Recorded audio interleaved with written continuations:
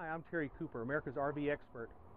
Well, have you ever opened the water heater compartment and say, I don't have a clue how this thing operates? So whether you have the Atwood or you have the Suburban, I have a book for you. Because 80% of the things that are wrong with our water heaters are things that we can fix ourselves if somebody will just show us how. And that's what I have done. As a college instructor, I understood the importance when I trained technicians to walk them through step by step in the diagnostic and the troubleshooting procedures. And that's what I have done in these books.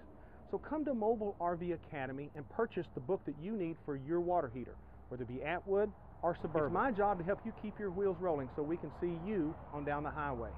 This is Terry Cooper, America's RV expert.